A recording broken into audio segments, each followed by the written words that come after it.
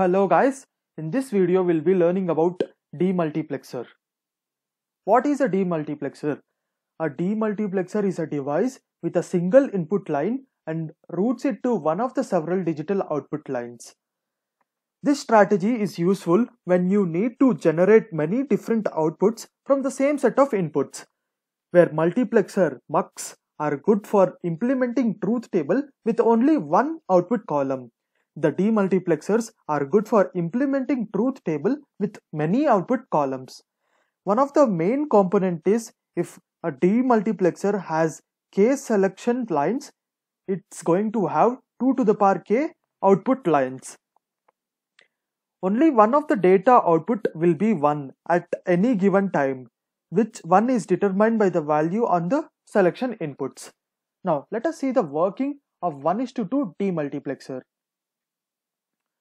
when you know that there is one selection lines so the output lines will be 2 to the power 1 which is equal to 2 when your selection line is 0 your input ln is going to the output 1 as you can see that if your input ln is 0 1 your output is also 0 1 same way if your selection line is high is 1 your input ln is going to output 2. You can see that the input ln is 0, 1. So the output is going to be 0, 1. Whereas your output 2 in the first case will be 0, 0 and output 1 in the second case will be 0, 0. This is the circuit diagram of a 1 is to 2 demultiplexer where you have the two outputs and one input. You can see that the input here and the two outputs here. The same way 1 is to 4 demultiplexer. This is the general block and this is the truth table and D is the data input. If the selection lines are 0, 0, your Y naught will have D. If D is 0, your Y naught is 0. If D is 1, your Y naught is 1.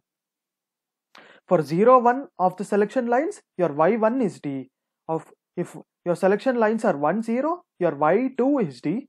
If both the selection lines are 1, your Y3 is D. We know that D can either be 0 or 1.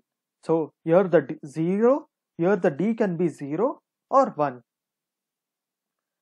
So this is the general circuit diagram. You can see that there are four outputs and there is one input. So next, the working of 1 is to 8 demultiplexer. This is the general block diagram. You know that there are three input signals. So 2 to the power k or 2 to the power 3 output signals. So 2 to the power 3 is 8. So there are 8 output signals if your selection lines are 0, 0, 0, your F0 is A, where A is the data signal which can either be 0 or 1.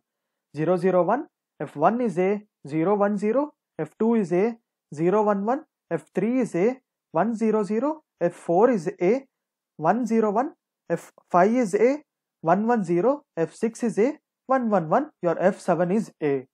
Now let's look into the circuit diagram using the gates you can see that there are eight output signals and there is only one input that is D and there are three selection lines.